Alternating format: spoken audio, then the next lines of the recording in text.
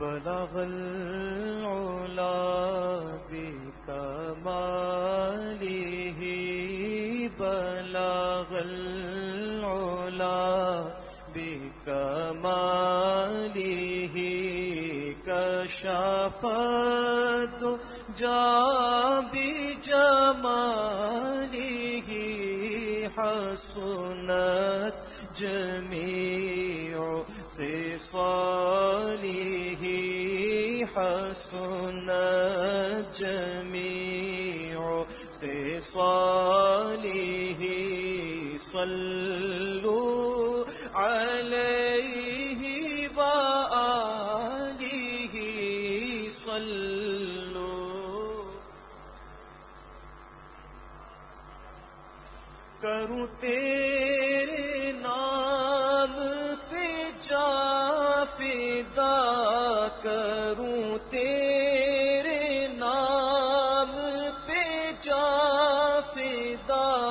ना बस एक जा दो जहाँ फिदा। ना बस एक जा दो जहाँ फिदा। दो जहाँ से भी नहीं जी जहाँ से भी नहीं जी भरा करूँ क्या? करोड़ो जहाँ नहीं सल्लो अलैहि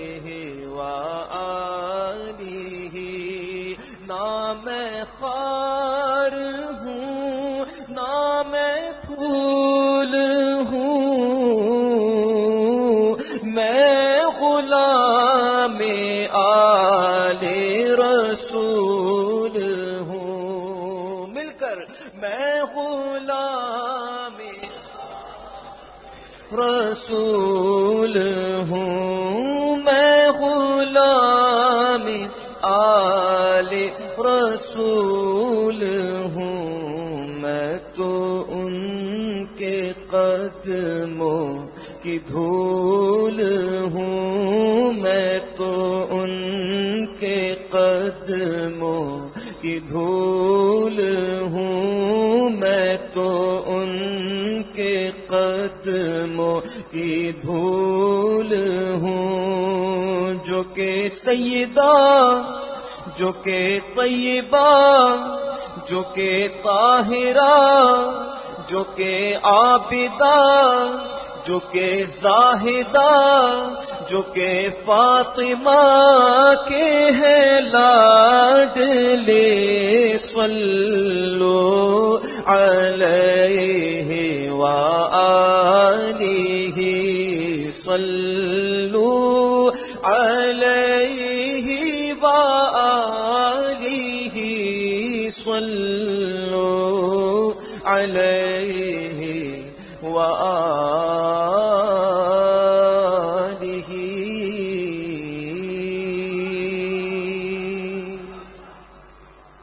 सात सितंबर 1974 को वो तारीख सात दिन था कि उस दिन पाकिस्तान की कौमी असम्बली ने मुतफ़ा तौर पर यह करारदादा पास की कि कादियानी गैर मुस्लिम अकलीत हैं। कादियानी हो खा वो कोई ऐसा शख्स हो जो हजूर नबी करीम सल्लल्लाहु अलैहि वसल्लम को आखिरी नबी ना मानता हो। हर वो शख्स जो अकीदा ख़त्म नबूत का मुनकर है, वो दायरा इस्लाम से खारिज है। और सिर्फ़ यही नहीं कि शरई तौर पर दायरा इस्लाम से खारिज है, बल्कि पाकिस्तान का आइन भी ये डिक्लेयर करता है कि ऐसा शख्स जो हजूर नबी करीम सल्लल्लाहु अलैहि वसल्लम को आखिरी नबी नहीं मानता, वो दायरा इस्लाम से खारिज है। और पाकिस्तान के आइन में सात सितंबर उन्नीस को ये बातें भी शामिल कर दी गई कि अगर कोई शख्स अपने आप को मुसलमान कहता है तो वो इस बात का इजहार करे, इस बात का इकरार करे कि वो हजूर नबी करीम सल्लल्लाहु अलैहि वसल्लम को आखिरी नबी मानता है। और अगर कोई शख्स हजूर नबी करीम सल्लल्लाहु अलैहि वसल्लम को आखिरी नबी नहीं मानता तो वो अपने आप को किसी भी जगह, किसी भी तहरीर में, किसी भी दस्तावेज़ में मुसलमान नहीं कह सकता। और फिर ऐसे लोग जो अकीदा ख़त्म नबूत के मुनकर हैं, अगर वो अपनी कोई इबादत गाह तामीर करते हैं तो वो अपनी इबादत गाह को मस्जिद नहीं कह सकते। उस इबादत गाह पर मुसलमानों की कोई अलामत नहीं लगा सकते। सात सितंबर 1974 को जो ये आइन पास हुआ, इसमें जो इसका सेहरा जाता है कायद मिलत इस्लामिया, इमाम शाहमद नूरानी सिद्दीकी रहमतुल्लाह ताला को। शाहमद नूरानी सिद्दीकी रहमतुल्लाह ताला उस वक्त कौमी असम्बली के मेंबर थे। शाहमद नूरानी सिद्दीकी रहमान ने अपनी काविशों के ज़रिए असम्बली में करारदाद पेश की। और इस करारदाद को जब पेश किया गया तो उस पर अपोजिशन की तरफ़ से सैंतीस अरकान के दस्तखत थे। यानी कि सैंतीस अरकान उस करारदाद के पेश करने की तायद में थे।